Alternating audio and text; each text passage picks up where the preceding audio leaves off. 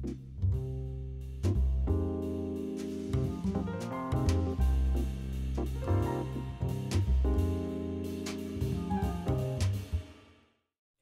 there, my name is Gisèle Grenier and I'm a mixed media and portrait artist living in Ontario, Canada.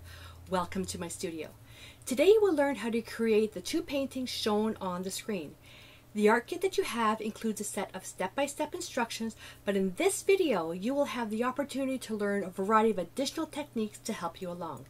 Now at the end of the video there will be some information on how you can access a large number of free tutorials and additional workshops on my website. So let's get started and move over to the painting table. I've got a photograph of what I used for an inspiration and I created two different variations of the design, both suitable for beginners. One's with a dark background, one's with a light background, and you'll notice that this one is a full shot. When I create uh, a design like this, I'll make it bigger than normal and then crop it down for framing. That way you're not um, fussing with getting stuff like this happening. Because if your painting's, if your paper's too short, you're going to end up with lines like this as the brush touches the end. Okay, so I'm going to show you how to do both colored backgrounds. It's up to you how you want to do that. And uh, we'll go from there. So I transferred the line drawing to my paper. And the first thing we're going to do is we're going to do some outlining. Now with this particular one here, I had the graphite lines um, I want the graphite lines showing because we're going to be going back over them with a pink pencil. Okay, so I'm going to grab my pink pencil and you want your pencils to be sharp at all times. So I'm just going to go over every single line.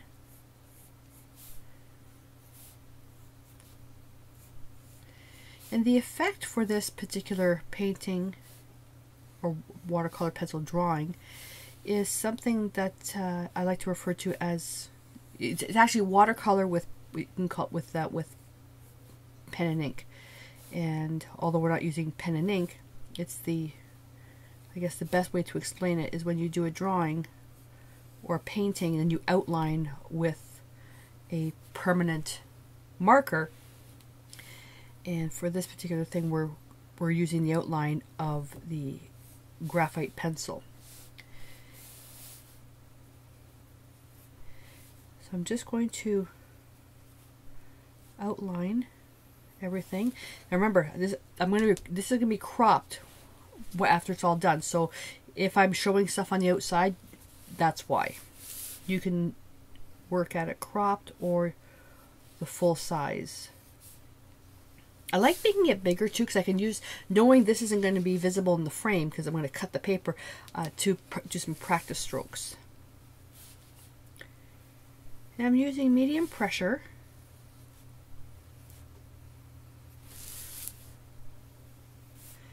I'm going to avoid rubbing my hand inside the drawing so I don't smudge anything. Now the watercolor pencils are water soluble so they have so this when when finished this has to be framed behind glass.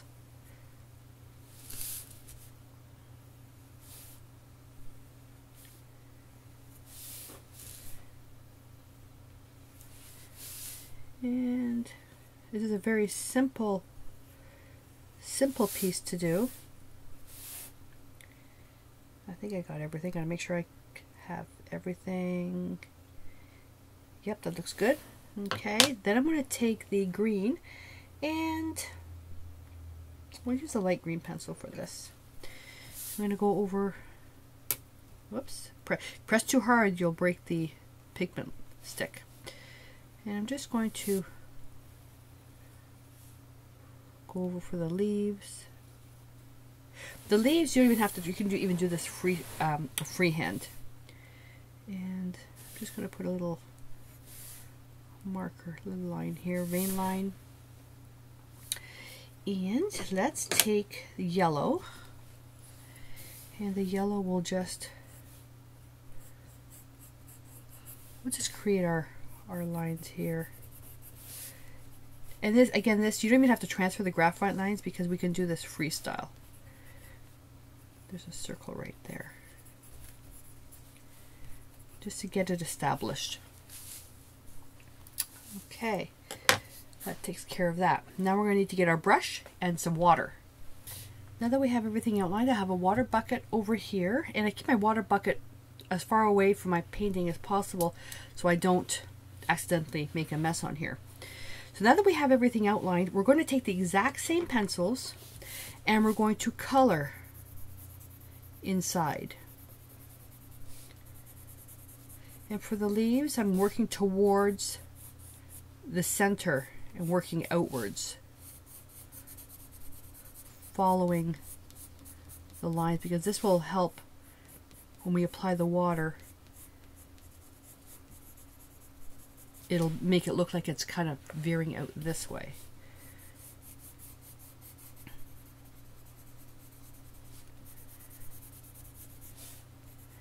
And make sure you keep your pencil sharp. I can rotate my pencil to get a sharp edge.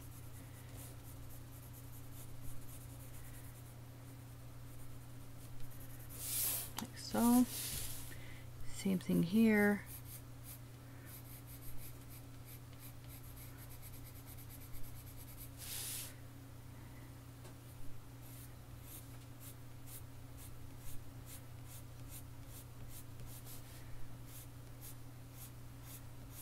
My pencil's dulling down a little bit, which is fine for doing what I'm doing here.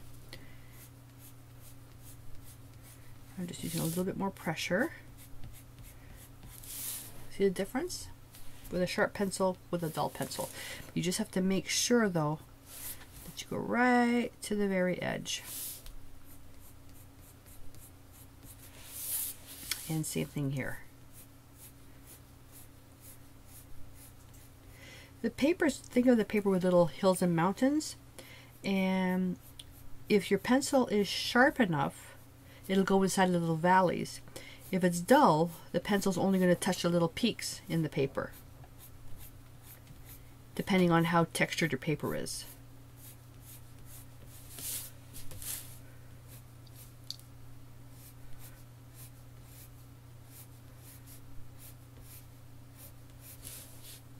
Sure that stroke is curved. And watercolor pencils, you can use them as a colored pencil. You don't even have to wet them if you don't want to. And on top of that, if you create something with the watercolor pencil and you say, oh, I really like that the way it is, then you don't have to touch it. You don't always have to add water to it if you like the look of the dried pencil. And we're going to have to sharpen that after. And now we're going to do the petals. So I'm going to use the pink pencil. And I'm going to color in each leaf. Following the shape of the petal. And you're going to do this for every single one. The magic really happens when you add water.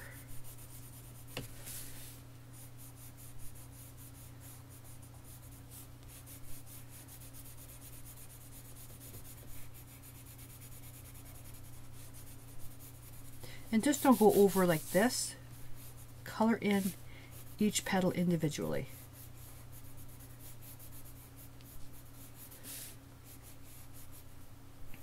Rotating my pencil to get a bit of a sharper edge. And you can lighten some areas with the, the white pencil, but I'm going to show you how to use the watercolor cakes for highlights, lightening an area, as well as adding little uh, dewdrops in the lily, and to do a little bit of correction. We're going to be using the watercolor cake for the side as well.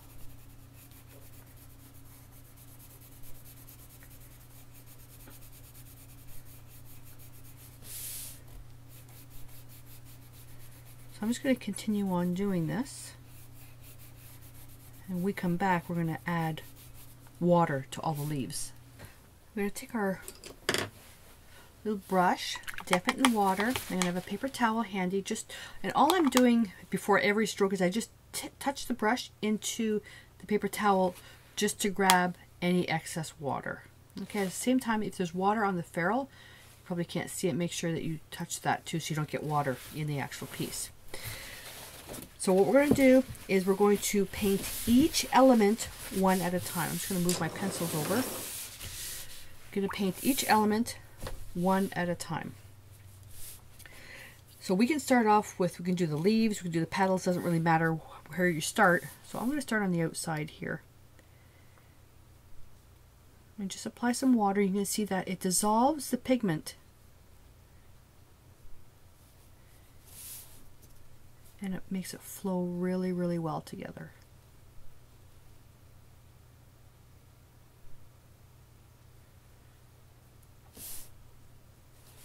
Okay, pick up some more water, touch the brush.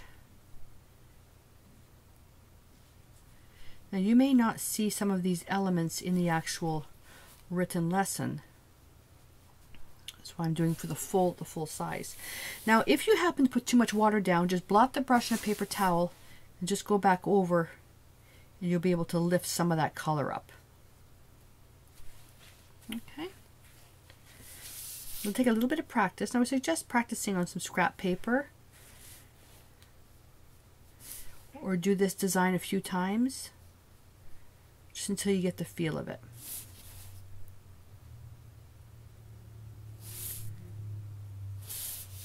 go.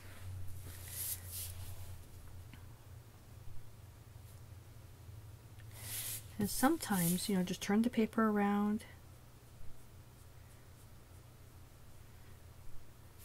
And see by creating the strokes in the proper direction, you can see where it creates some lines. Okay, rinse your pencil, uh, pencil, rinse your brush really well because if we mix the green with the pink, it's going to turn really yucky. So what we're going to do is we're going to avoid doing anything that's touching another color that's wet.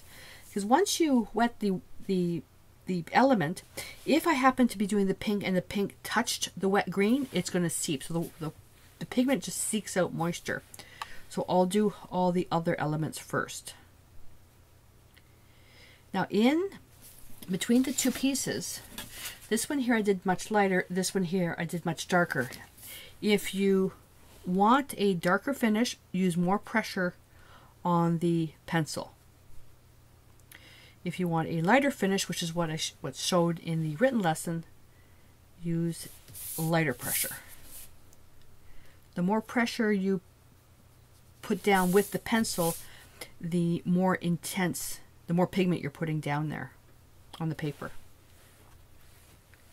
So I did this one. I'm not going to do this one. I'm not going to do this one because I don't want the pink blending into each other. So I'll work on a different area. Now that one has a little bit too much water. I'm going to blot my brush, come back in.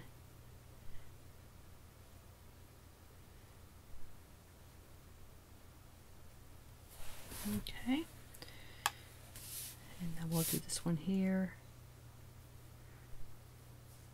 We're going to do some correction work on this one. I'm going to show you how to, instead of using a white pencil, show you how to use the cakes to do some highlighting and correction work. And this one here, I'm going to have to pick up a little bit of extra water. Not too concerned about the bottom because that's actually all cropped out. But if you like the full piece, like if you want your piece to be like this, and do the whole piece. It doesn't matter. And this design is so versatile. If you want your lily to be red, then make use a red pencil instead. Or orange.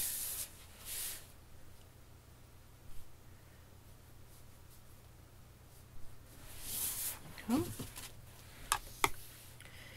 Now this one here I did touch side by side and I shouldn't have because it was wet. When you're going inside the yellow, just kind of use the tip of the brush just to push the pigment around.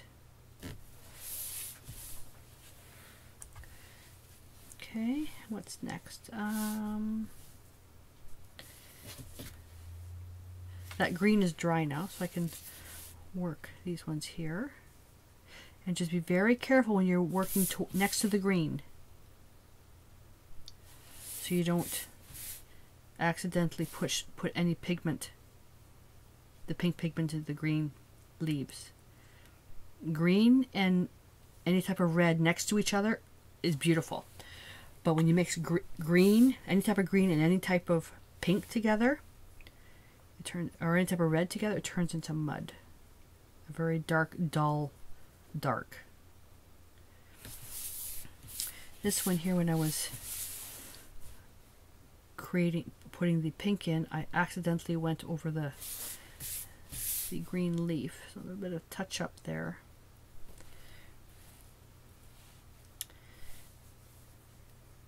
Doesn't take long to dry.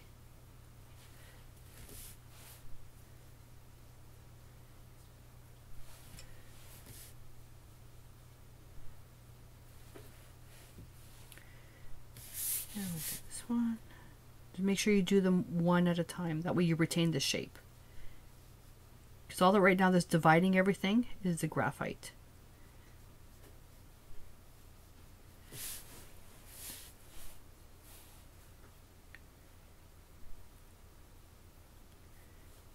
Shouldn't have done this one because this one's wet.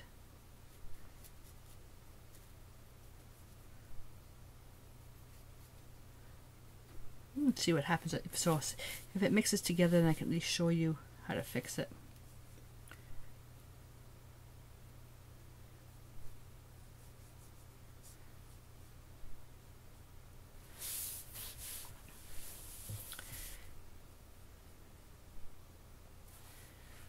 Okay.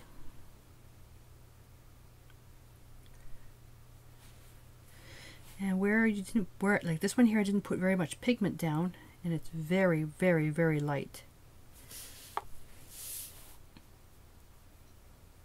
Same thing with this one.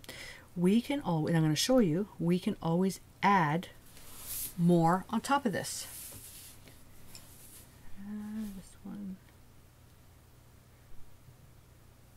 Now I am going to veer off from the written lesson a little bit so I can show you more technique. There's only so much you can try to explain on a written lesson where the videos are very useful because I can actually show you. This one here I added a lot more pigment. I used more pressure when I was drawing it in. You can see how much color is down there.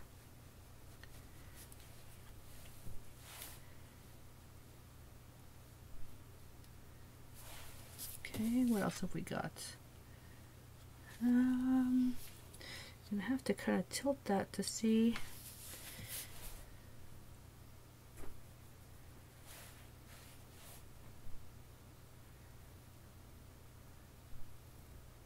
All you're doing is just distributing the pigment into all the pores of the paper.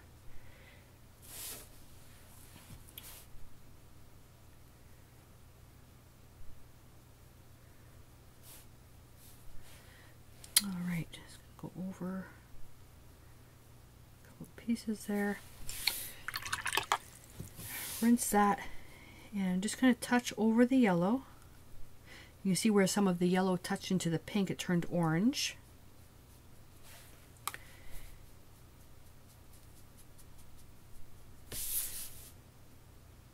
Make sure that each element is dry though. There we go. All right, so I'm going to let this dry, and now we're going. To, I'm going to show you how to use the watercolor cakes to paint the water. Going to create the water, and this is a good idea to have all this extra space so you can play with the color. I'm going to show you how to, with the watercolor cake, basically to get this type of blue and to get this type of blue, just with a little bit of color mixing. So what I do, when I get the little watercolor cakes, now I may not have the same ones that you have, but they're basically the same, is I take a big brush, fill it with water, and then I just drip the water. Or if you have an eyedropper, that works too. They need to be wet in order to be used. Okay. Just drip a little bit of water in there. And I do that usually before I start painting. Okay. I already have some ready to go. We're going to be using the blues. So how about I actually just turn this around? And in order to get started, I'm going to use a big brush just to, for speed. Just want to show you what happens. So I just wet the paper. Now when you take the paint, you put it in and it blooms out and it seeks out the water. Okay, so but when we spread it out, you can move it everywhere. If you were to take the pigment dry, put it on an area that hasn't been wet, the effect is completely different. Okay? Where the watercolor effect, the water, the, the paper that's wet, it absorbs the pigment and it spreads it out a little bit easier. So you can see two completely different looks. So this here was with the paper, uh, the the paint, the watercolor cake, the paint applied to dry paper, and this one was applied to wet paper. And that you just have to play so you can till you get something that you that you like. Now this one here, I can't really blend much more because the paper is dry. But this one here, I can keep going because the paper is wet. Okay. So for speed, I'm just going to go around very carefully. And if you happen to go into the leaf or a petal, if you happen to dampen an area you don't want to be dampened, then you need to let that area dry and start all over again. Because the paint the watercolors, once we apply them, will just seek out the moisture.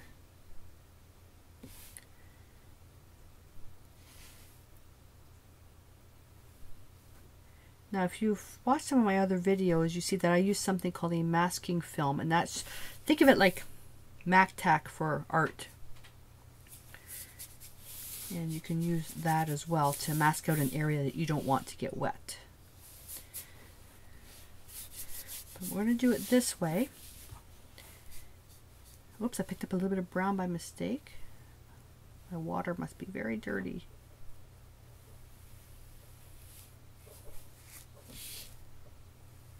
There we go.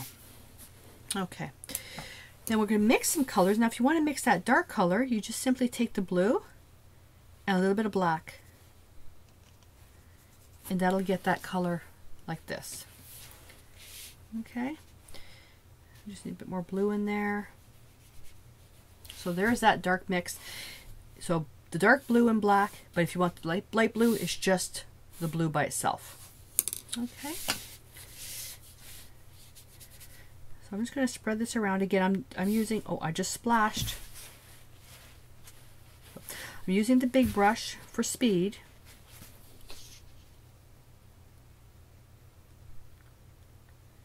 We won't be, your brush will be a different size. But you've got more time. And if your paper dries out, just add just add more water to it. I've got the studio lights on, which is drying everything very quickly, which is why I'm using a big brush.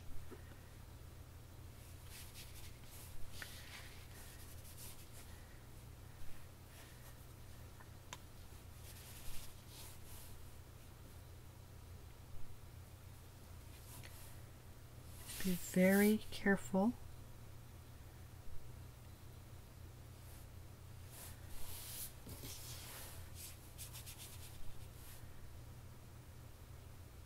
Now I accidentally touched the leaf here. That will be okay because we're going to be we're going to be darkening the leaves anyways with green. Now I want my colors to be very variegated, very, and I want to see motion in there. I don't want a perfectly smooth finish. So I can come in and just touch additional color in some spots.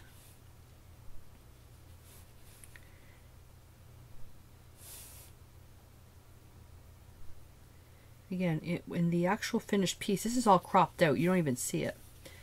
But just to show you the different effects. Now see all those lines, that's actually going to dry out and show, and then you get this type of effect.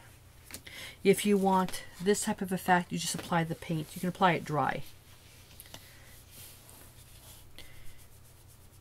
See, the paper is dried here and it goes on completely different. And I can pick up a little bit more black. That's a bit too much black. So if that's too much black, I'm going to go right under here. This is shadowed. Be very careful.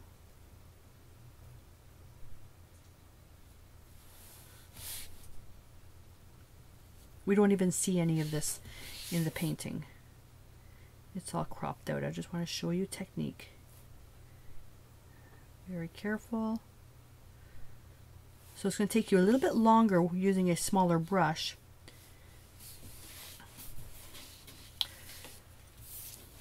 tilt this and now I want to show you something really neat. I'm going to take a little bit of water right here and you can tilt your paper to get some really neat effects. Now for this particular design, tilting the paper really isn't going to do anything. We're going to use that technique when we create the painting of the koi. But look at that. Anytime I paint water, I like doing that effect of dripping and pulling the paint.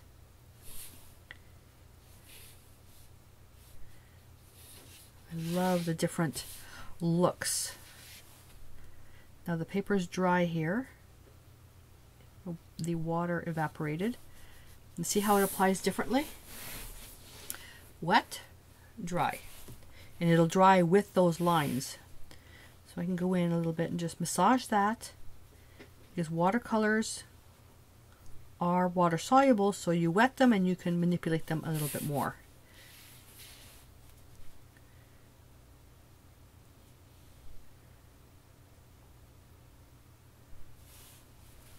So you can choose what blue you want to use with your design. Now for this one here, we need to let this dry. I can't do any more work. I can continue to manipulate. Now if you're using a bunch of different colors, I would keep the blending to a minimum because you're going to just over blend. But because we're just using blue and black, I can keep playing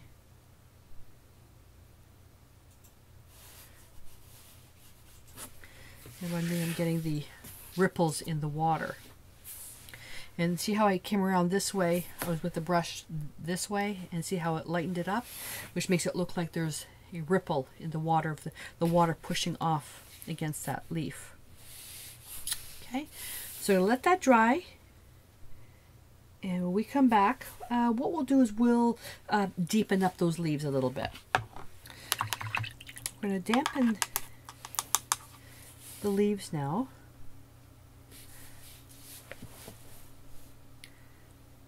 The water has had chance to dry.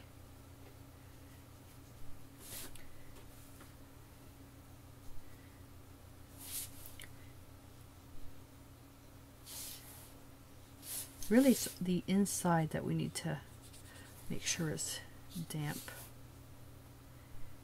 I don't want, if I only dampen this part here, then when I apply the darker green, it's going to stop here. I want to have it flow outwards. So it's going to go into the green. A little bit of green. Touch some paper towel and just apply. You can also do this with the pencil if you want. Now this isn't flowing enough, so I'm going to take a little bit of water my brush and I'm just going to add a little bit of water, blot the brush. There we go. I can touch into the paint right here.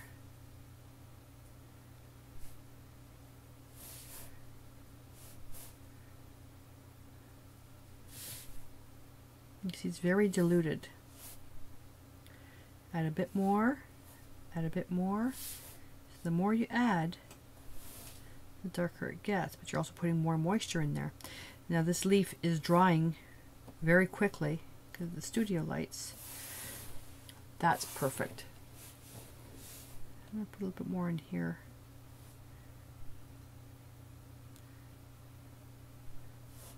I want this very dark.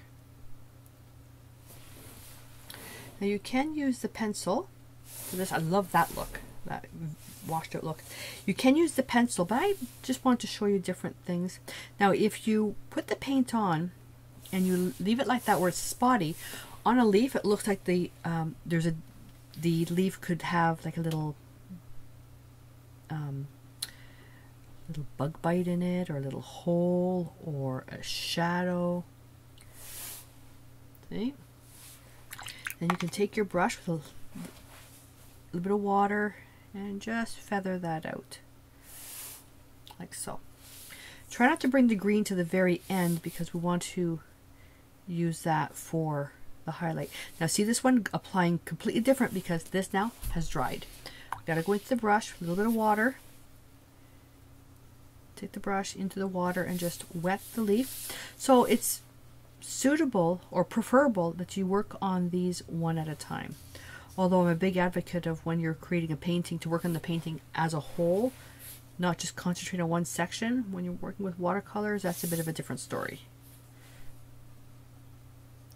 Now, let's do this. So what happens if you put on way too much pigment? Like that.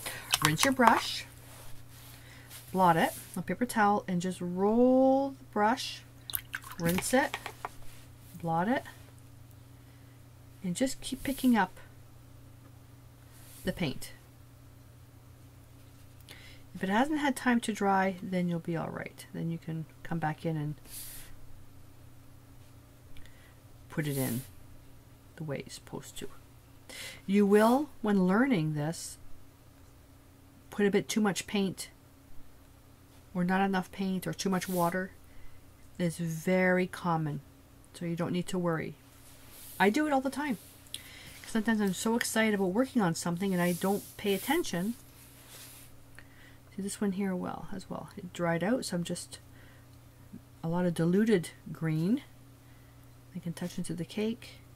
Now, that, because there's not enough moisture in the green cake, so I'm just going to add a bit more water to that. I picked up more pigment than anything else. So, rinse the brush, blot it, a bit more water. There we go. Easy peasy. And I got a drop in there of some of the dark paint right there. I'm not going to, there's nothing I can do about it. I'm not going to worry about it. There we go. Okay, I'm going to work on the center. While that's the center, while the leaves are drying, I'm going to take the orange pencil and I'm going to just make some lines here. Outline that center. I want my center to be primarily primarily yellow. But I just want to show you. Now we can come in after the fact and go back over everything with graphite again, which is what I showed in the examples. So once we do that, and then we can come in and just use like a little choppy stroke to dissolve the orange. Now I use very little orange. I didn't use a lot. Okay, now watch what happens with the, the wet pencil.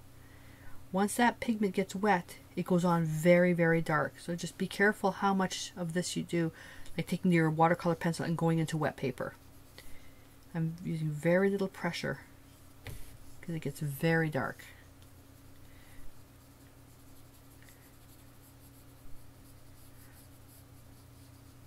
There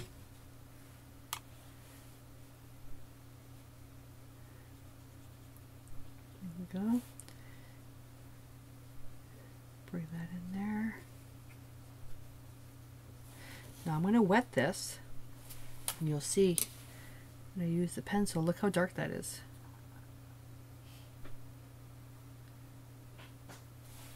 Like so.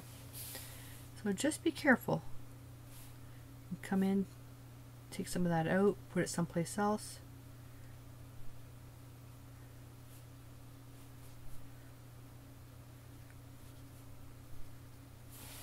Okay, I love that. Love that, love, love, love that. Okay, I'm going to grab some more paper towel and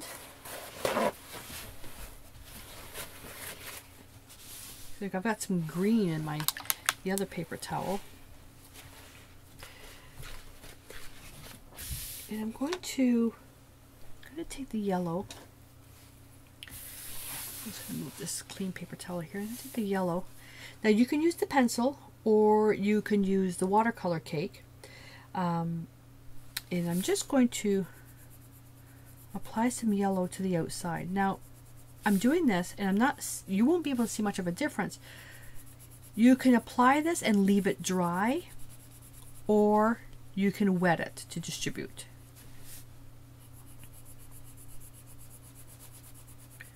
I'm just brightening up the edges. Like I said, you can use a pencil or you can use the cakes. Completely up to you. I think what I'll do, I probably should have left one, is I'll do this with the pencil and then I'll show you one with the cake. So you can leave it like that or you can come in and all I'm doing is just dampening the outside. So you can't tell very much. Just blending that into paper, but I can take the yellow Okay, on a piece of palette paper. You can even use a little saucer and come in and go over. Now with the watercolor cake, the, the paint is going to be a little more opaque depending on how much you put on.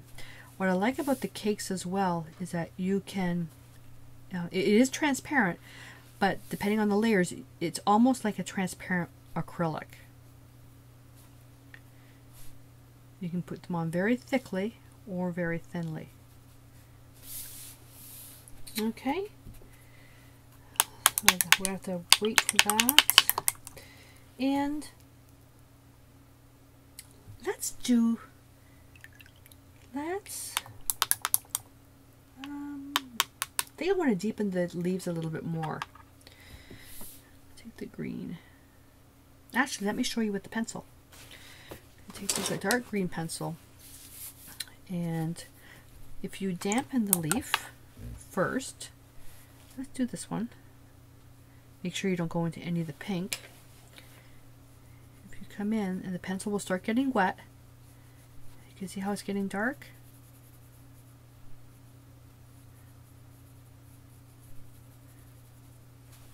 See that? Let's wet this one.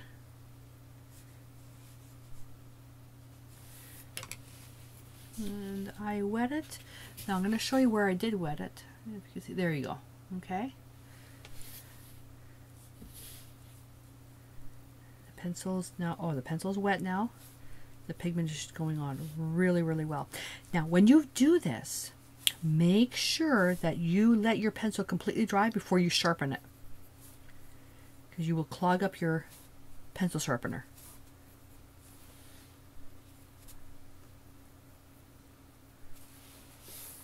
Okay. I'm going to dampen this one.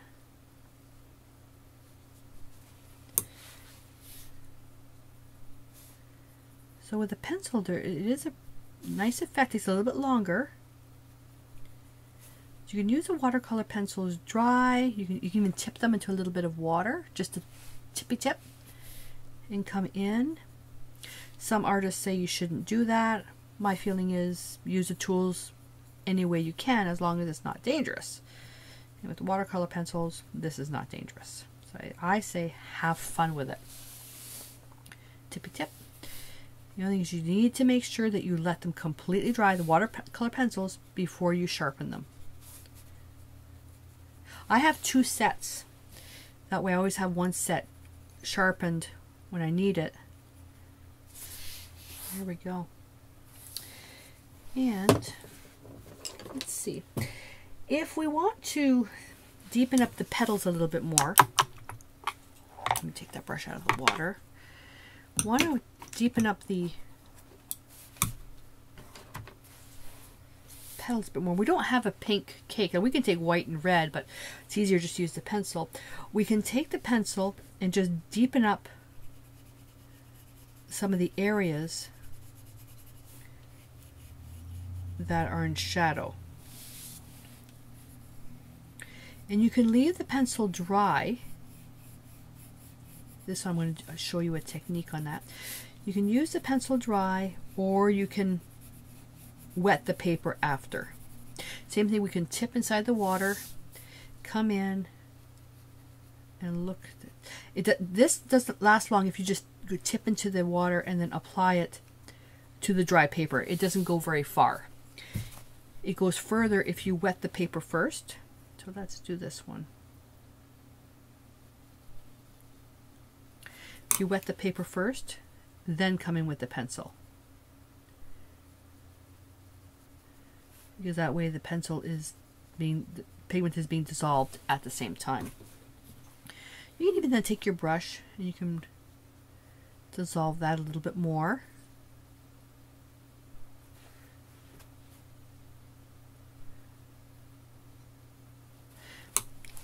And then just continue on. When you do this though, where you're also pushing the pigment directly into the paper so the color will be much stronger.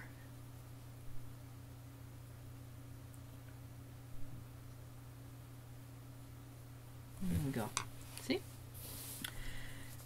You don't have to do that. You can just use the pencil. I'm going to use the other pencil. That one's still damp. And I'm basically under the petals that are underneath another petal darkening those, that edge, leaving the outside edge relatively light. And act as a highlight. Okay. That's going to be all cropped out.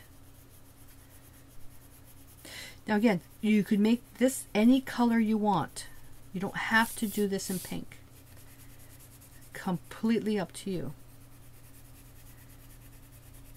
You can also search out different pictures um, of lilies for different colors.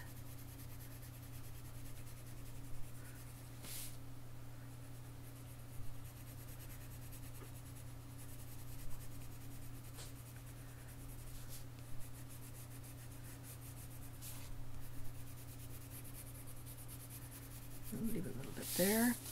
Whoops. And I'm going to show you how to use the white watercolor cake to make some adjustments.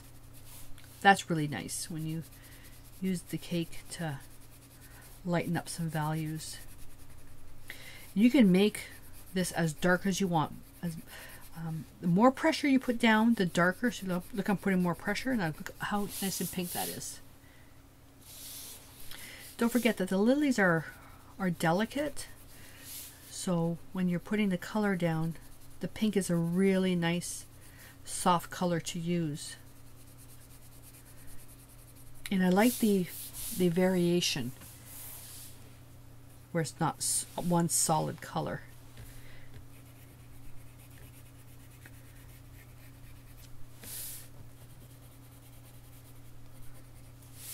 Okay, let's work with that. So we can turn around now and just dissolve some of that darker color that we put down, the second layer. You don't have to cover the entire petal.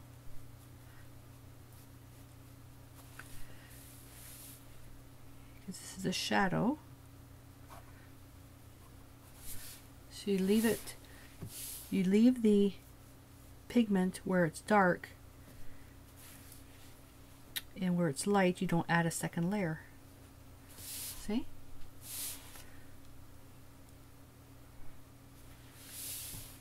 just have to fix that and I'm going to be very careful how close I get to the yellow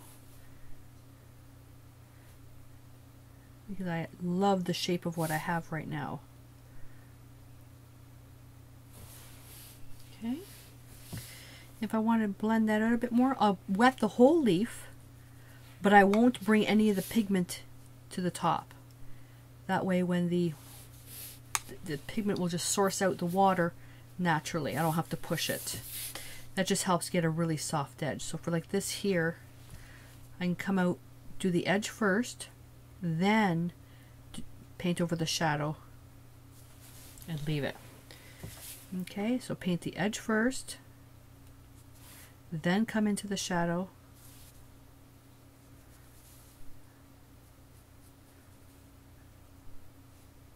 and leave it. That way it retains the lightness. I think I forgot to do this one. I did. I forgot to do this one. Uh, I'm going to let that dry.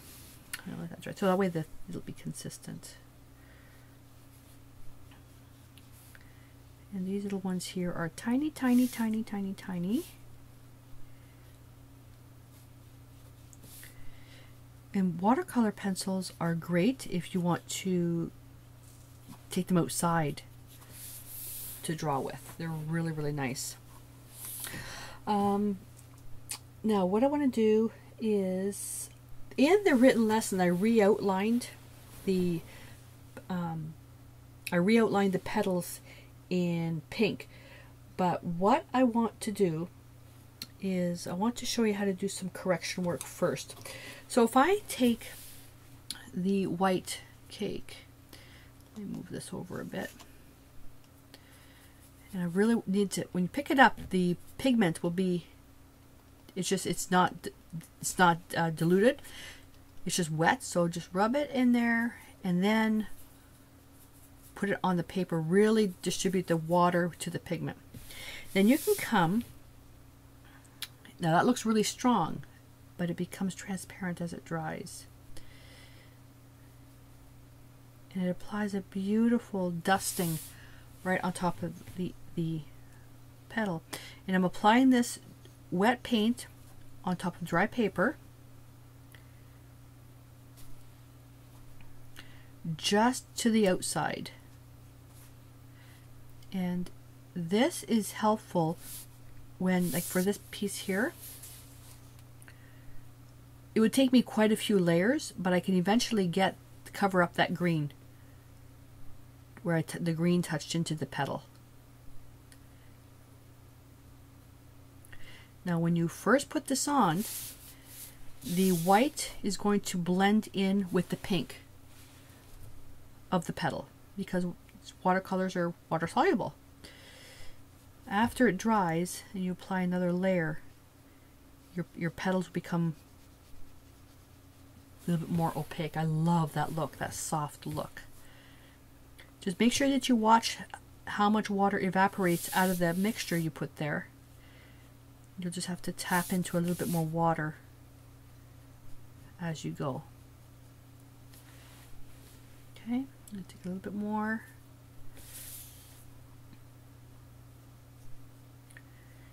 This just adds a little bit of an extra. Otherwise, you can use the pencil for this. Now, I could cover that up. It would take me quite a few layers. Um, I don't think it's necessary, though.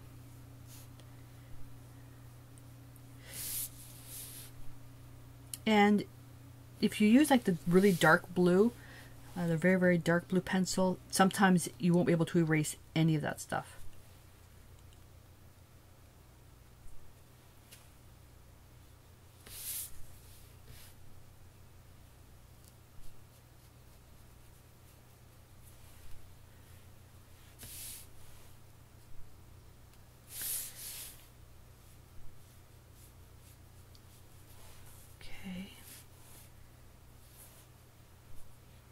Almost done. So this is just a way to show you correction. And then when this dries, you can apply another layer. And you can do this as many times as you want. And not just with the white, you can do with, with any color.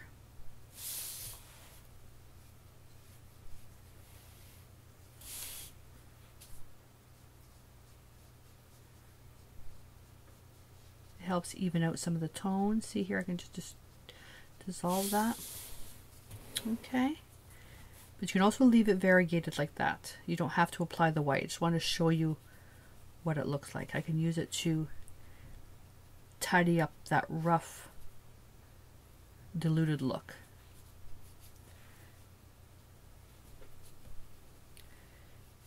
There we go. And you can also apply that over the green. I don't want to apply it over the green because I like the, the vibrancy of the green. But you can do that. Now, once that's dry, then we can take the pencil and go over if necessary. Um, the other thing that we can do, we can take the green pencil and if you had to tidy up some of the edges, you can fill in some spots. Um, if you had little parts that weren't colored in all the way, you can tidy up the edges. Oops, too much pressure and I, I always break the pigment, pigment stick.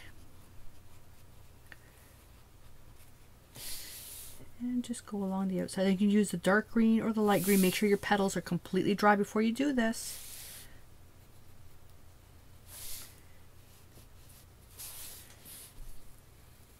See here, I got a little bit of green inside the petal. Now I can take my pink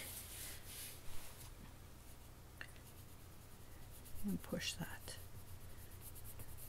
You see how dark that is? You get a little marking there. So just make sure everything is is dry. And uh, from here, I mean, you can darken it up some more if you want to. Um, just to show you, you can take the red. Not necessary though. You can take a little bit of red.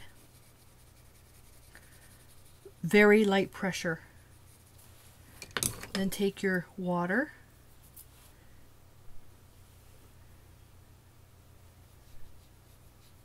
And you can really punch up that shadow inside each leaf. In the petal, I should say. Now here, that's dry. Very little pressure.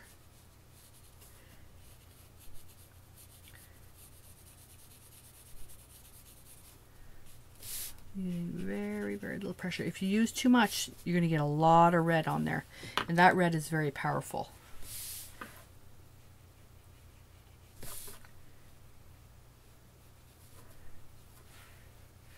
Make sure you go in clean water. Now don't forget, we also have the white that was there already.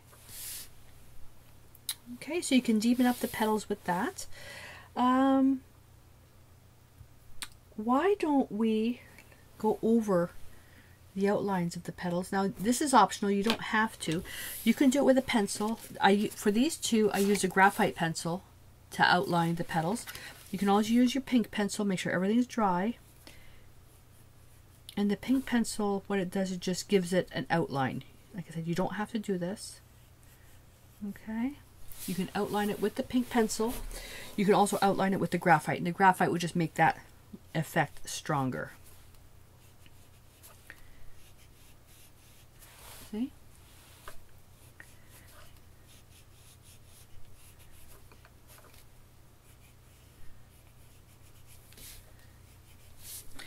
And where, when you do this, it's helpful if you've lost some of the shapes that you were coloring in. Okay, it just helps define the shapes a little bit better.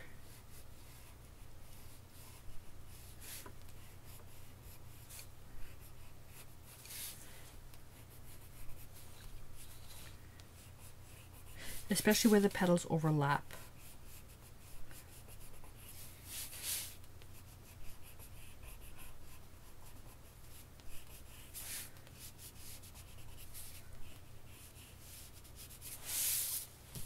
Okay, just, just defines more shadow.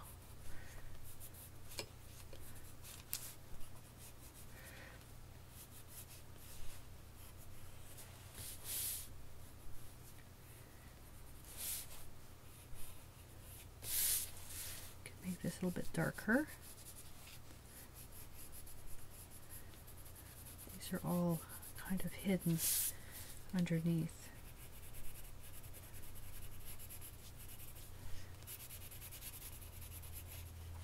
Now this one here, it got a little bit lost, so I can take my pencil, my graphite pencil, and very lightly. Now once I do this, I'm not going to apply any water to it. Okay, just apply the, the bit of the graphite. And I think this is actually one leaf. I just made them into two.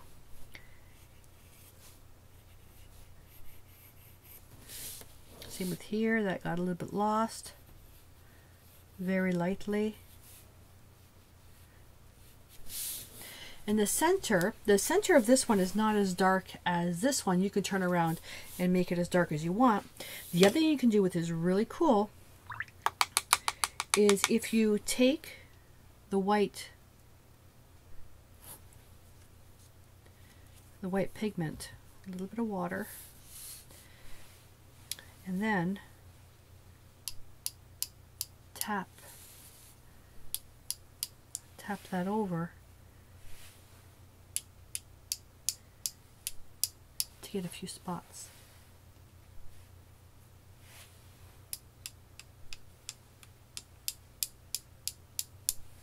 There we go. And you'll get a look like that. So there we go. That's about all that's involved with this piece. Now again, like I said, you can turn around and you can make the center as dark as you want, but I want to give you um, as many different options as possible. And all that would be left with this is for you to crop it down to a size that you like. For this particular uh, painting, I used this reference photograph for the koi and came up with this cute little painting here. And I'm going to demonstrate how we're going to use a lot of the white from the watercolor cakes to really lighten up the value here.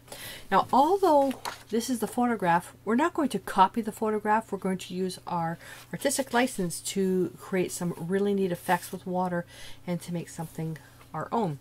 Now, this is the full version of the full uh, painting. I like to paint the, with my watercolors larger than normal and then I cut it down because it has to be framed behind glass because it's water soluble. So you don't want it to get wet and ruined. So I always paint it larger than normal and then I cut it down so the edges are nice and finished. So I'm going to leave this right here and hope it doesn't get wet. But I like to try to keep my water away from what I'm what I'm working on.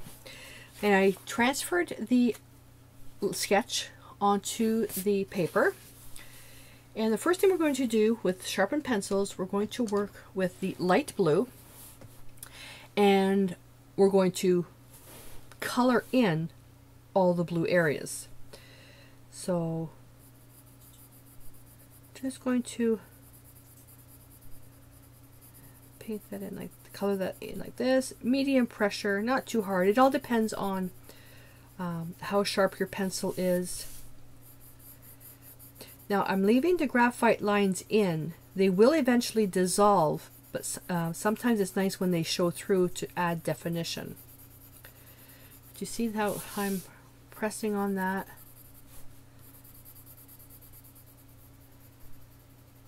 And the harder you press, the more pigmented you're going to get, but it's better if you just do it in layers if possible. I'm going to bring that over here. I want to make sure that you can see the, the painting at the same time so you can see exactly what I'm working on. Now the sketch that I provided has some circles and dots where the, the black marks. You don't have to do these, transfer these as part of the sketch. And as well, I'm going to change the design just to show you how flexible it is. Uh, what else do we have? We have this over here. And now the gills, I'm going to color, I'm going to actually outline the gills first so I don't lose them. And then this part here, I'm going to outline this. Just I just don't want to lose the lines. Like that. Okay. Uh, where was I? Where was I? Where was I? Right in here. And I'm going to show you how flexible it is to basically add the spots. You can go right over the spots if you want because we're going to be adding black after. And I'm going to attempt to make this koi much more vibrant than the one in this one here. Just to show you the intensity of the, the pigments. Oh, you know what? Let's just go for it. Let's just cover everything up. That way you don't have to fuss. Just don't want to lose the lines though. That's why I'm outlining these. Oh, while we're here, let's go around this one. This is important because this is the eye. I outlined in blue, but you didn't have to. I just want to make sure I don't lose any of this. Because we can always cover it up with black. So we need to go around this here. There we go.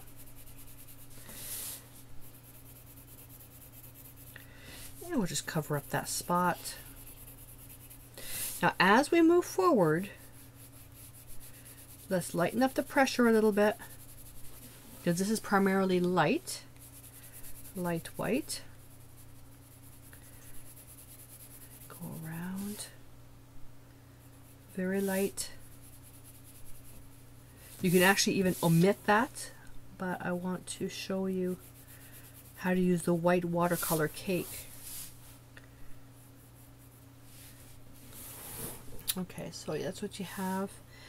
And let's, as well, let's color in. Let's outline this here. And even these lines, you don't really even have to transfer them with graphite. If with the graphite, you have to make sure that you transfer your lines very light. Otherwise, the graphite's going to dissolve and everything's going to look gray. Okay.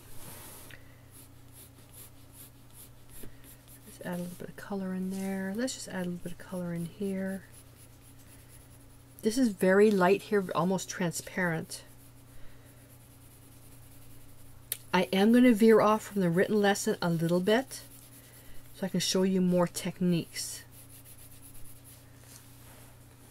And let's do this one up here. This is where um, the fin goes, but the actual finished piece gets cropped way down here. But that's where we can use this for some practice. Let's color that in like so. Just go to the edge of the graphite lines. And where does that go? That's the tail, the fin, right about here. Let's work with that. So we'll work, we'll use that for practice. And I think that's pretty well pretty well covers that off. I think we're we're good to go. And get your little brush,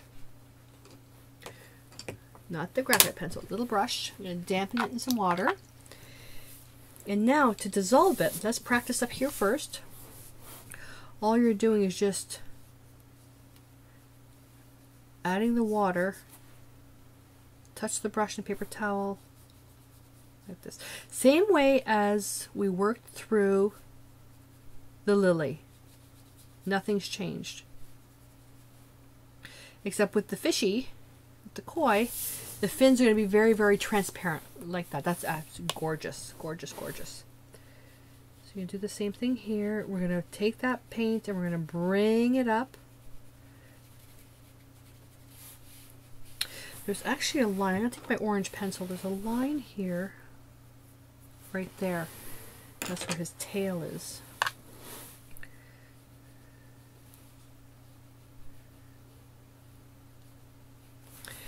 And you know what I missed? I just noticed it. I missed his body line.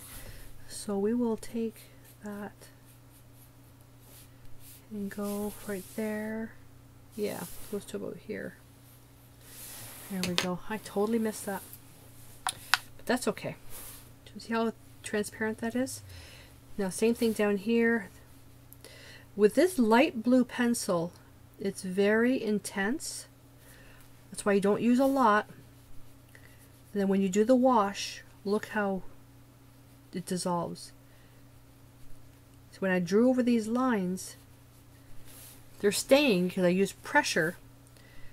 And then everywhere else where I colored in very lightly, it's not washed out, but it's, it's just very transparent. Now when we do this part here, making sure that the brush is facing the outside so we get a nice crisp edge. And I'm working the brush following the, the, the roundness of the koi. Now I would like to say you can paint the koi in any colors you want because it's very flexible. So I would say, you know what, use your artistic license. Paint one red, paint one purple, paint them all different colors. Just so you can pr get practice. It's a lot of fun. You can make the fish very, very vibrant. So be very careful around the eye. We do not want any of that blue in there. I'm going to rinse my brush.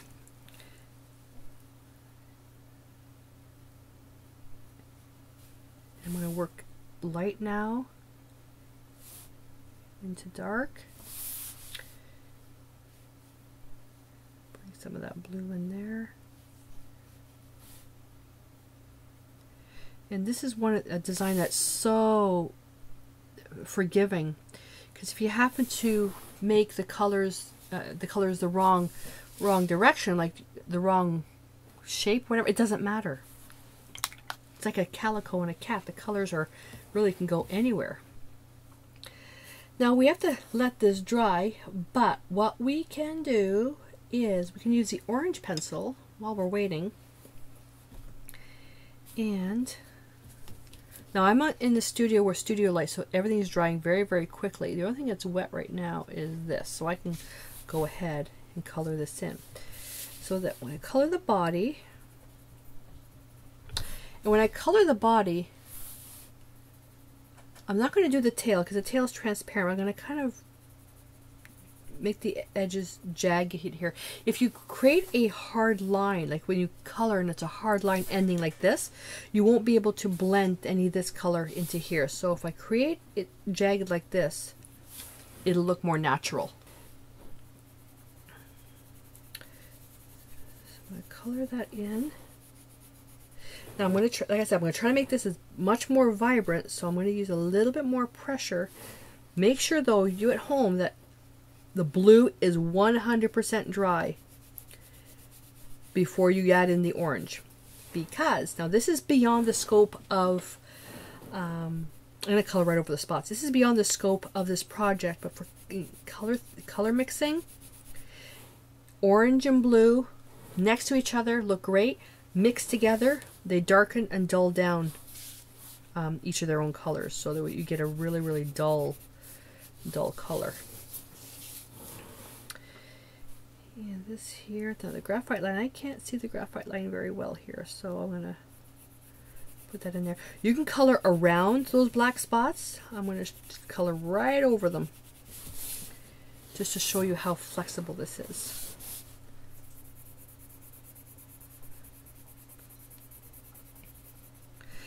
And we don't want a perfectly smooth finish. That's why I'm kind of being a bit rough with this because the scales the koi has scales and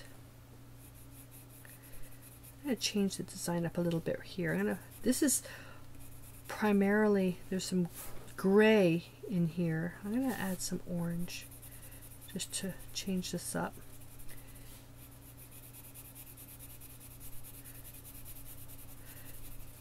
Be very careful that I make sure I, where they're going to blend, I'm going to make sure that there is some gray in here because when orange and blue mix together, it doesn't look very good. But in saying that, this is being cropped anyway, so it doesn't matter, but you may like the whole thing the way it is. If you want to go around the spots, that's fine. I'm going to get a different pencil that's already been sharpened. If you want to go around the spots, that's fine. I'm using a bit more firm pressure I'm not using light pressure. I really want to make this bright. So in the written lesson, um, the pressure was a little bit lighter than what I'm doing now. But I would strongly suggest that you create a couple of different versions of this practice in an art journal. These are very convenient if you want to draw outside. If you want to create, um, you can do your drawing with this. And all you need is one brush, one brush and a little container of water.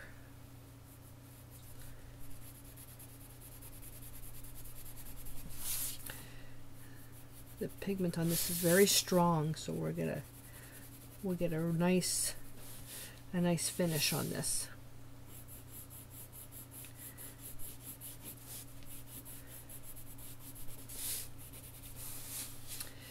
And we'll bring that right into here.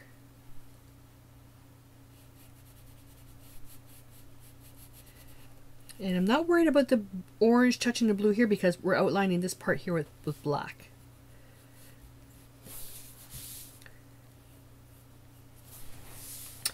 And the eye, we're going to, the eye is, goes like this. Same thing with the color of the eyes, you can really vary that. While we're here, take the black watercolor pencil, just so I don't lose it. Now this is where I'm veering off from the written lesson.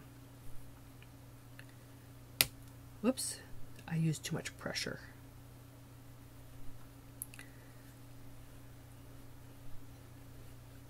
I'm just going to mark that in there.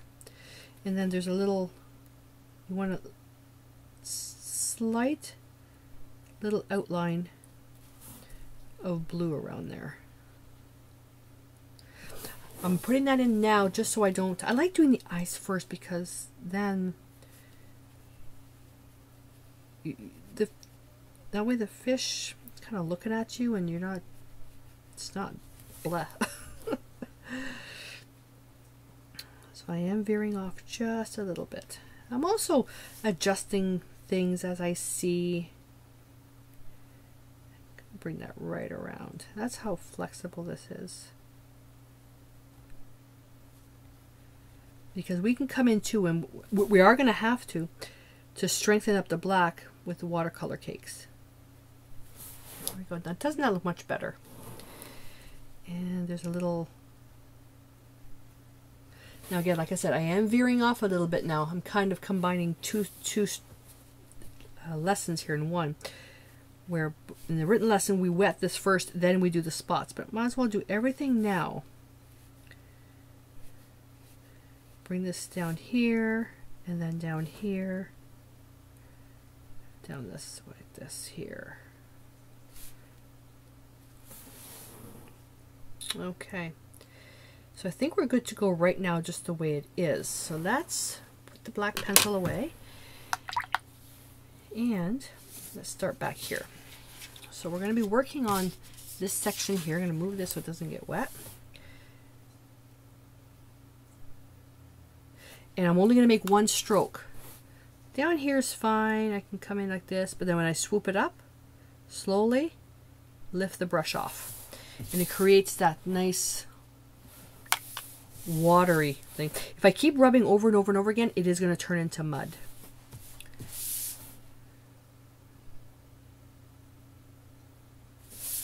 Okay, let's come down here and swoop that over and let go. Slowly swoop that over.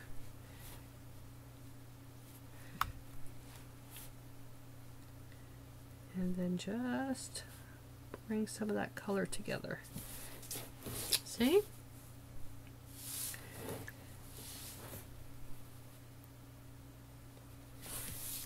And now for the back of the body, you can, tell where I put used a bit more pressure. Look how vibrant that color is and I'm making this raggedy. I don't want a perfect perfect finish. Don't forget that the koi is actually uh, in water, so you're not going to have a perfectly smooth perfectly smooth finish. And now for the tail, I'm going to bring some of that color out here. Makes it look more more more soft. It makes it look a little bit softer then zigzag The koi has some scales. And I'm going to use the opportunity to come back and put more pigment up here just so I can show you how you can see the difference. I'm going to show you how you can just darken this up a little bit more. And then in here, look at that, look how vibrant that is. Oh, wow. Very slowly when going next to blue. Anything that's opposite on the color wheel, be very careful when you're next, especially with wet paint. When you're working with acrylics, you can let it dry, then apply the color next to it. But when it's wet paint, you have to be very careful so you don't get mud. Yellows next to greens, that's fine. But colors that are opposite in the color wheel, no. You got to be careful.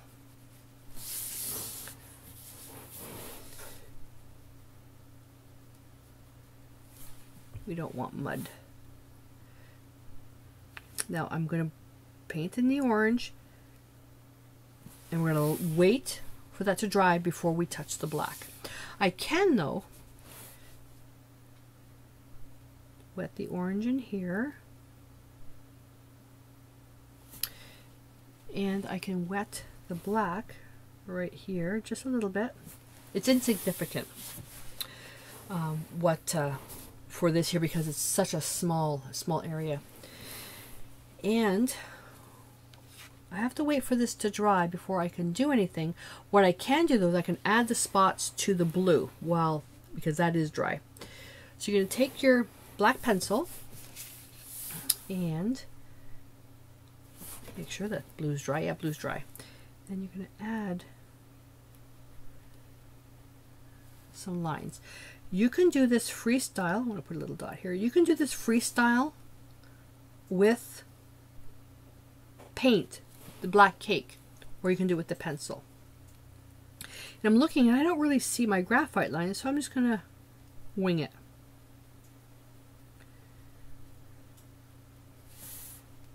Okay. I do want to show you though how to do it just with the cake and not use the pencil just so you can see the difference. So if I did that, and let's get a bit of a close-up here. If I take the water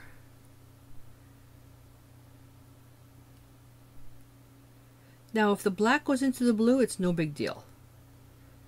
Because the black will basically overwrite the blue. Okay, so this is just a little bit of water into the spots drawn in with the black watercolor pencil. Okay, with me so far?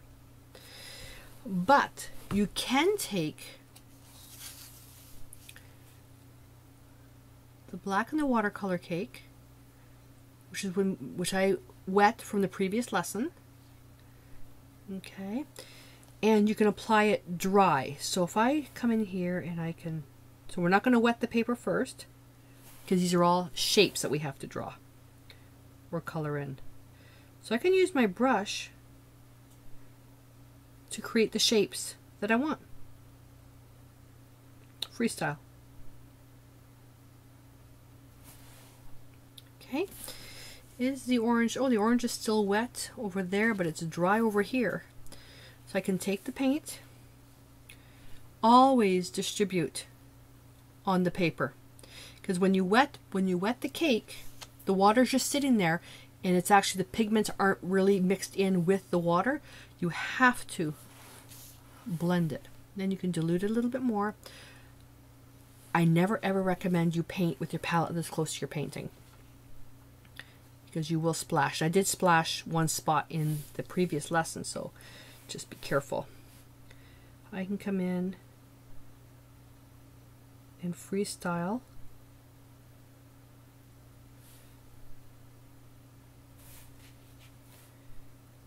Touch, push, lift to get a little different shape. I can go like that. I mean, you can really create some nice, interesting, just by the pressure of the brush. Don't make them all the same though. Okay, see how beautiful that is? Over here, let's put a little one there, one here, a little teardrop, and a little one here. That's, you know what, those are too close to being the same. There we go. And I'm tilting the paper so I can see where it's where it's wet. And you notice I'm not going over the area over and over because it will eventually dissolve the orange and it would lighten up the black. So make your mark and leave it.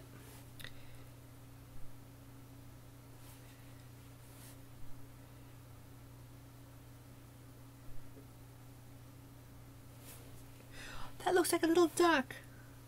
Isn't that cute? that looks like a little duck. There's another little duck right there. I'm going to leave that in there. A little story. A little story for the koi. The koi and the duck. That'll be my story. Let's put another one here. So see how flexible that is? You can make some... Now see here with the pencil, it's not as dark as this. So we can come back over and touch that up where the pencil was. The pencil has binders, which is the glue that holds the pencil together. And so with the pigment, which is pure. And now we can come back in with the eye and really, really darken that up. Come back in now and just very carefully detail the eye. Now the eye, very slowly.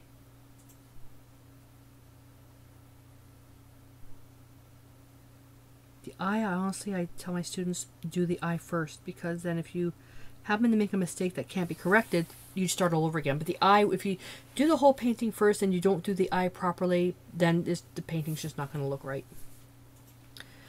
Um, now I didn't don't want to add anything in here because I want to do a little bit more with the orange.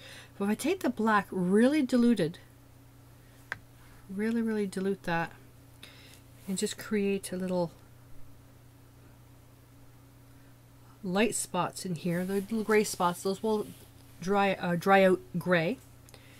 And take a little bit of that black and really what I'm doing is I'm adding a little bit of gray here. That'll dry out like that. And then one right here.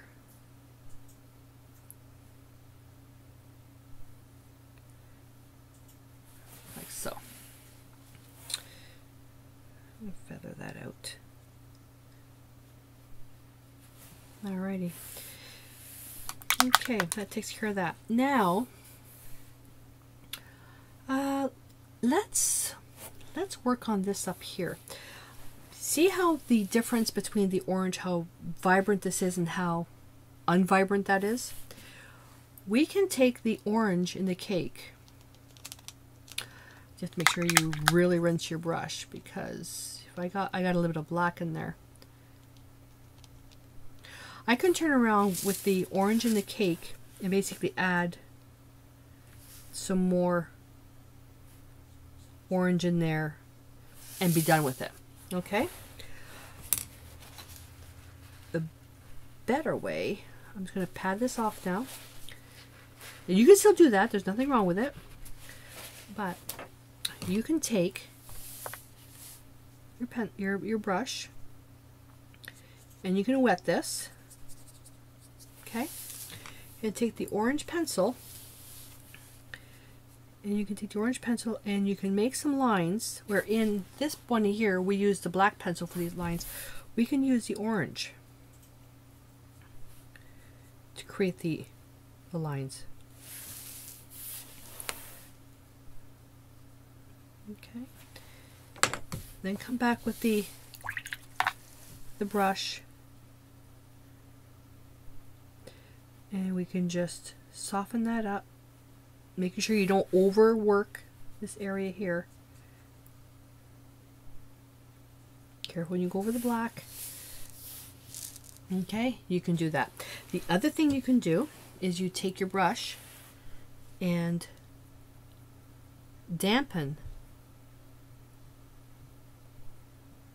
the tip of the pencil, which will load that pigment, and then you can put that in here.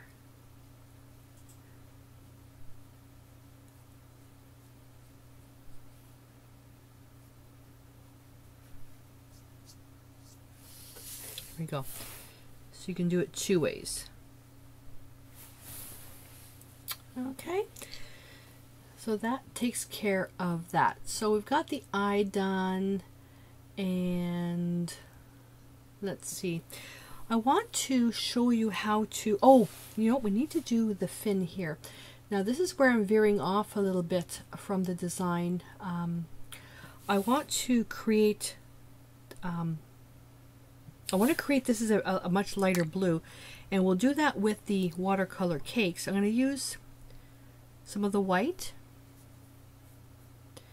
I'm going to touch a bit into the blue. Look, see the blue's getting contaminated now. That's fine. Speck into black. Okay, and now a lot of water. And I just want to create the indication that there is another fin there. And the reason why I'm not determining the color very strongly is because when we put the water in there, depending on what color the wa water ends up taking shape, then we'll take that color and we'll put a little bit of that in here. I just wanted to find the shape so I didn't lose it. The water is a lot of fun to do. Uh, it does take quite a bit of time to dry, um, but we need to basically wet the whole piece. We use a watercolor cake to put the water on, and then we're going to do some tilting. I need to wait for that to dry first, so we'll come back in a couple of minutes and then we'll continue on. Alrighty, so let's work on the back. Now this technique I'm going to show you, um, there it's very unpredictable, but it's a lot of fun. I'm going to bring the colors down a little bit more. And now I'm got one, two, three, four, five, six, I got eight lights on, so when I, if I were to wet the entire paper, it's going to dry very, very quickly, and because I'm, I'm using a small brush. I'm going to go for time saving to a larger brush. And what I want to do is I want to show you first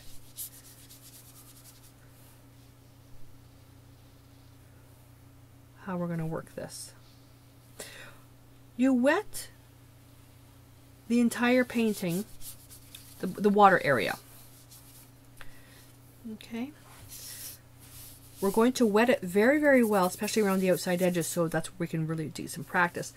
When you're going next to the fish, be very, very careful. If you happen to touch the wet brush into any of the fish, let it dry completely and then start all over again. You do not want to get any water into the fish.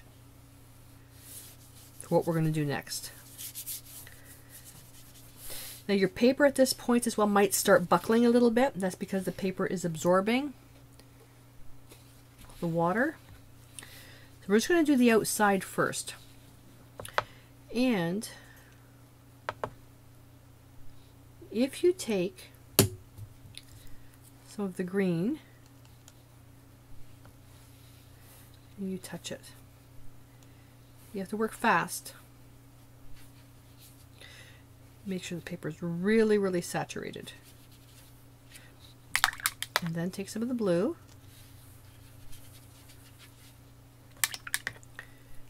Take some of the light blue. The paper's already starting to dry here. So if it's starting to dry, take the brush,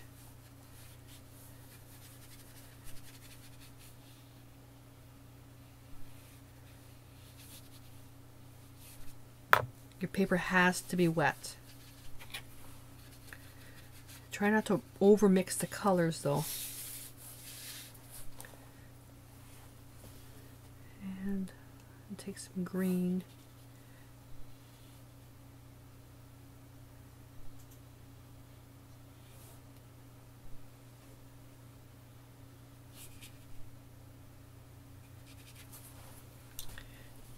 Need to wet that a little bit. So you're gonna apply. So you're gonna wet the paper, apply the paint, apply more water. Let's take some blue.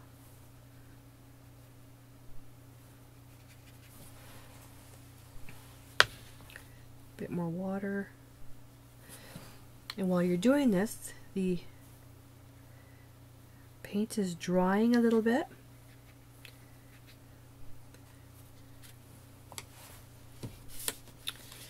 Make sure that your paper stays wet all the time.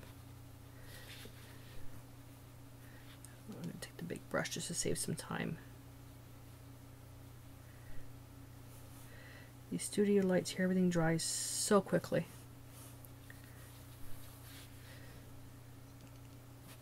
Whoops.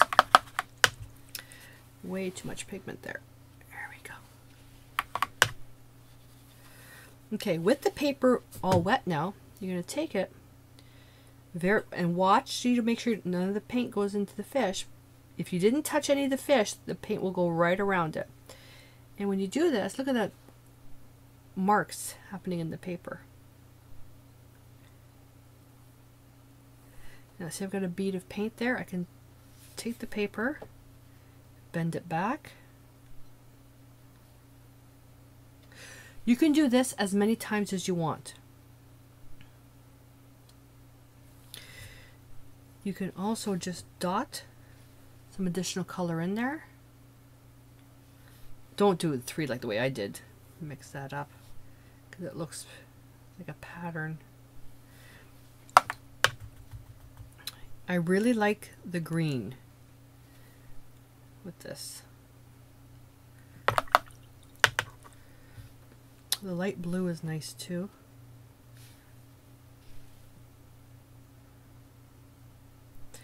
Once you get a pattern that you like,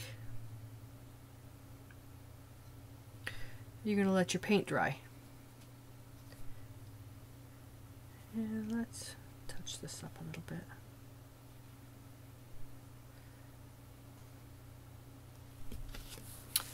Okay, I like what I've got here. I'm going to kind of touch that up where there's no, the paper dried. Okay. So I'm going to leave it like that. And I'm going to come in here and right in there. This you're going to do by hand. In there and in here Again, use the brush that you have. I'm doing this just for time saving. And I'm not going to, well, I can do this part a little bit. It's okay if some of the paint comes in to that. Um, we're, let's stick with a dark blue. So take the dark blue, take a little speck of black, a lot of water, a little bit more black than that.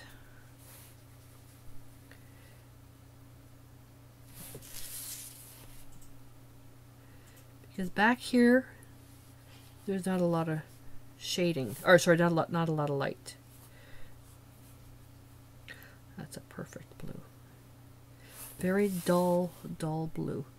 Blue next to orange looks amazing. But if we made this too intense, it's going to compete with the vibrancy of the fish. We'll take a little bit of that blue, put that in here, up a little bit of the green, just a little bit. Like that. Take a little bit of the green. Just a little bit.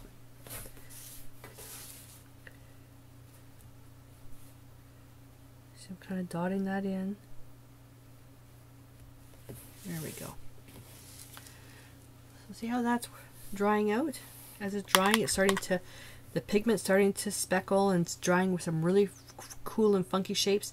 You can, once you let it dry like this, you can do this step over again, but just when you're wetting the paper, if you want to apply another layer of this type of color, just wet the paper like with one swoop. If you keep working, wetting and wetting and wetting, you're eventually going to dissolve everything that's here. Okay. And the more you do this, the more the colors are going to blend together. But I like that. See, as it starts to dry, you get some really interesting shapes. Now you can also speed up the drying time with a heat gun or a hair dryer. So I'm just going to give you a demonstration on how to do that. So I'm standing up now. So my arms are at this distance and I've got my heat gun. Now a heat gun is used for embossing. Um, I use it to dry, um, speed up the drying time. With a heat gun, it's low air, a low air pressure, but very high heat. A hair dryer is high air pressure and you can have a low heat setting. When you're when you've done this technique here, you can use your hair blower or heat gun to actually manipulate where the paint goes. And I'm going to show you. That's going to be a bit noisy.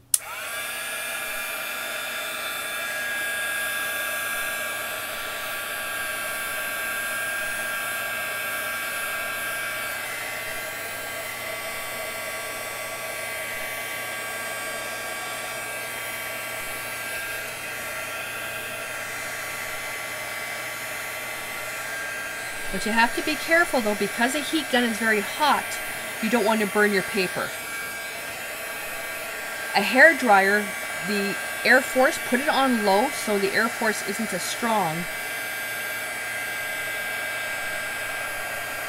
But as you start doing this, it's going to dry with these really cool little little lines. I can still manipulate some of the water, whatever is left over. Do I have anything left? No, that's pretty well dry. That's not going anywhere. Me just quickly dry that again.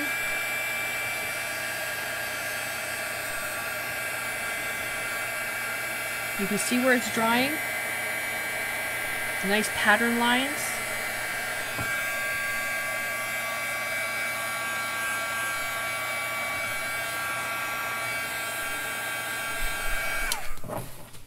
See all the patterns. That, that's, that's just gorgeous. So now what we can do is we can take this opportunity to, you can either intensify the background, but I don't want the background to be competing with the fish. Um, you can see here, very different look. I love this. And the fish though, in the lesson we're working on, is much more intense than this one here. So play with the colors the way you want. What I want to show you is if we use white, to blend out the front because he's the fish is lit up. It's very, very light here. You have to make sure that the background watercolor is dry. Just take the white on the dry paper. Make sure you don't touch any of the black and you can just make some touch-ups like this. If you touch into the black, your, your resulting color is going to be gray. Okay, and you've got that. I can come in now with additional blue. Where's my blue? If I want to make the blue stronger, I can come in and add another layer of blue.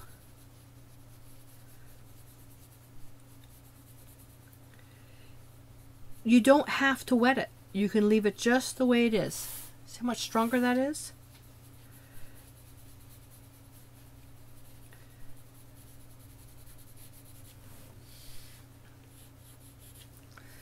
And back here, you can do the same thing. And I'm using little circle strokes now to make sure that all the pores are covered. Now, th this, I do this for second layers. I like doing it this way. Um, because I can then decide if I want to add some water to it. That's not dry yet.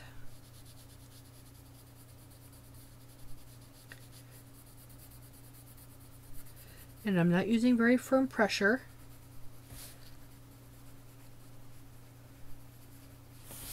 Okay, and I can choose, do I want to do I want to add water to this or not, or do I want to leave it? I can turn around in here, make it a little bit darker. I can go right over the, the black. You just want to make sure that you don't go over black that's wet. Okay. I think I want to intensify this a little bit more. A bit firmer pressure. Right over the black. When you're working around black, the black itself is not the problem of being ruined. What happens is that if the black spreads into the blue, you're going to have a, a larger spot to cover. And I'm going to show you how to fix that up. Okay, so see how much more vibrant that is? Let's at the same time color this in a little bit more. Going to a light layer over that and a light layer over this. Just want to make it a little bit more blue. We'll leave this. And so I'm going to paint this in first because this, once we do this, we don't have to come back to it. Just to dissolve the color a little bit, make sure that you leave the striations there, all these little lines, because that's for the fin.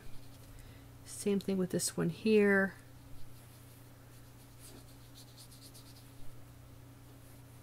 Okay, take whatever's left over in the brush and come in with this one. So I'm going to now take my wet brush and I'm going to come in and I'm going to come in and paint over the blue. Uh oh, I touched into the black. We'll see what happens. Come in. Now, if you've seen my videos before, you know that I do not edit mistakes out because I want you to see how I fix the problem. Very rarely do is there a mistake that I make to the point where I have to throw the piece out. But I want to show you how to fix a boo-boo. Well, what help if that boo-boo did what it was supposed to? The boo-boo didn't boo-boo. So let's go, oh, okay, oh, I touched into the black. What do I do? Okay, well, we'll just continue on we'll pretend that the water just kind of smeared around and we went and had a cup of tea and we didn't know what happened till we got back. Come around, we'll just continue on. Continue on. I'm to leave this fairly dissolved. Just going to add some water, soften that out. So you can see where it's all, all smeared out. I can turn around with the brush and attempt to dissolve that right into into the background. So wet the brush, pick it up, blot it in the paper towel. Every time my brush leaves the camera view, I'm blotting on a little piece of paper towel. And eventually, what will happen is that you'll lift up as much color as you could. The other thing you can do is work it into the design. Because of this, the fish, it's so, so flexible, I could turn around and take the colored pencil and go back over, or I can take the watercolor cake and add a bit more blue and work that into it. Depending on the strength of the blue that you're adding, I would myself cover the whole thing. That way the blue is consistent. Remember, this, these little striations that we're putting here, they're fine. Okay, you can then use a heat gun to dry it. But what you can also do is once this is dry, take your black paint and you can make that spot a little bit bigger, which is what I'm going to do. So while that's drying, I'm going to go here, pick up some white. I just want to make this a little bit stronger.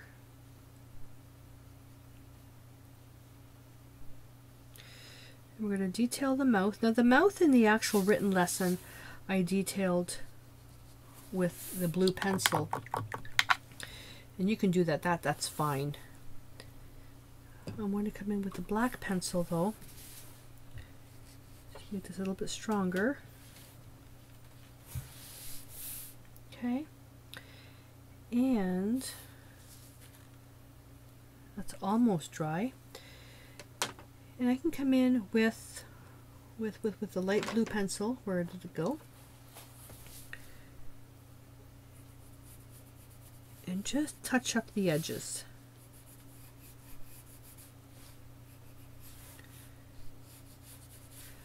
I'm just going to touch up the edges. This is wet here. So I can I can use like I did showed in the lily, I can use the pencil the watercolor pencil on wet paper. See how dark that is?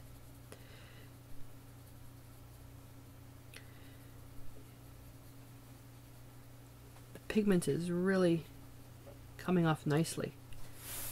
Okay, you can add little striations in there. Remember, the fish is covered in scales. It's not perfectly smooth.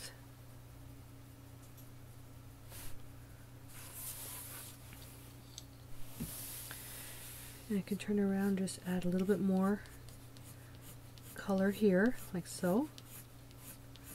The pencil is pretty well dull now. So it'll give me a, a smoother finish. I don't want a, those I don't want heavy lines like this.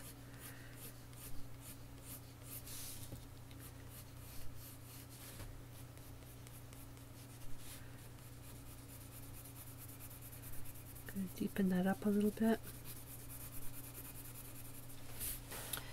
And yeah, we're looking pretty good there. Gonna add some blue in here.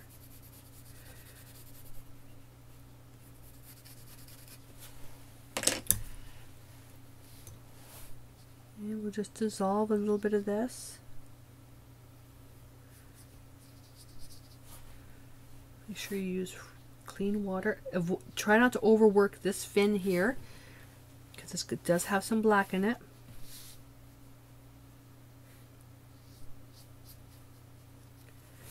There we go.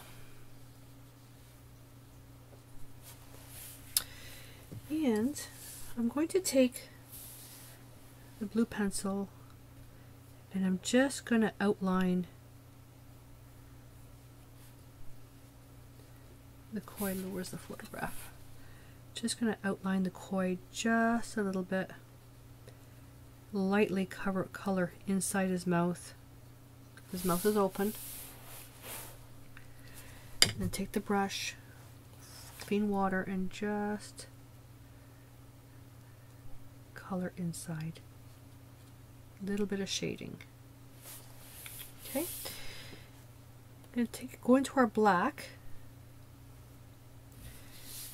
Now see how we went over that these spots are not as dark as the other ones? You can come back over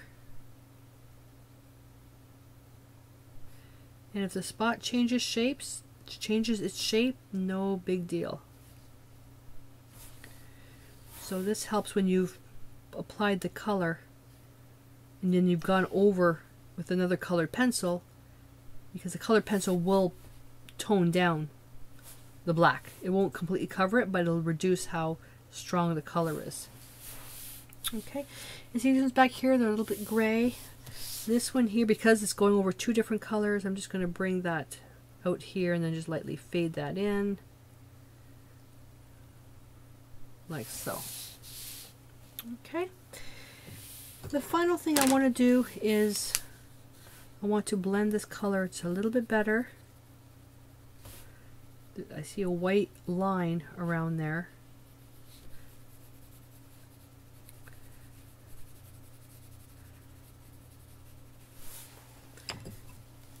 And you can let that dry first. You may not have to do this. See, I didn't rinse my brush and I still have black in my, my brush and it's too late. The black just gone right in. So that's fine. I'm going to work it in.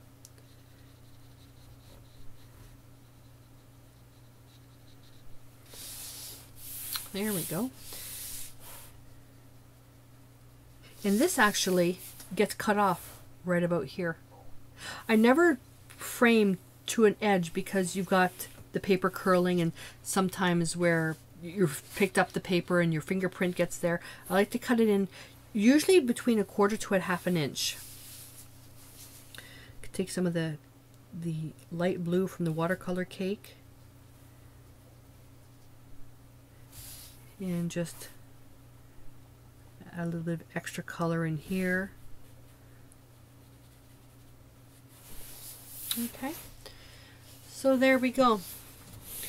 So that was a fairly fairly easy one to work with. And then you can continue to build up the white if you want. You don't have to. Although this is a good way to to practice overlapping colors. Teaches you control because you cannot touch the white or the black. Don't go over the black otherwise you're going to smear all that color.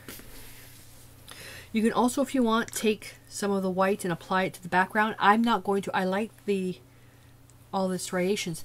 Now, if you have a coarse salt, when the when the water, this area here is all wet, you can throw in some coarse salt and let the whole piece dry. And where the salt, coarse salt was hitting, you'll have little blooms of color. But that's something that you can try as well. Don't sign your painting until you've done the crop. Then once you've done the crop, you can sign it. Um, I'm going to use a blue pencil, so I'm going to pretend that I'm going to crop it right about there, and I'll just sign it. Whoops, too much pressure. There we go. So we're all done. Did you have fun? I hope so. Now the only way to improve your skills is to practice, practice, practice. And to help you with that, I'd like to invite you to visit my website at myloveaffairwithlife.com. And what you'll find on there is a variety of things that are for creative inspirations, free tutorials, free videos, full classes and workshops that you can try, different mediums, a whole bunch of different things. Um, and basically, if you on that website, you will never be bored because there's always something to do. All right, so I'd like to invite you to check that out. And I really hope that you will push along and practice the skills that you've learned so far. Visit the website, get a whole bunch of different uh, other information to help you along. And I would love to get your feedback. And on the website, you can sign up for my newsletter. I announce different projects that are free tutorials and stuff like that. And I would love to see the, the artwork that you've created in today's workshop. So until then, stay inspired, and I will see you next time.